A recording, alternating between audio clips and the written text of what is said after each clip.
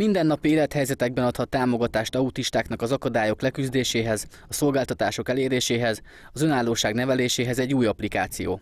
Az Autisták Országos Szövetsége és az Ötvös Lórán Tudományegyetem kutatói fejlesztették ki a szoftvert, ami otthoni, iskolai, munkahelyi és más környezetben egyaránt segítséget nyújthat. Az okostelefonokon, tableteken futó alkalmazást workshop keretében ismerhették meg az érdeklődők szombathelyen.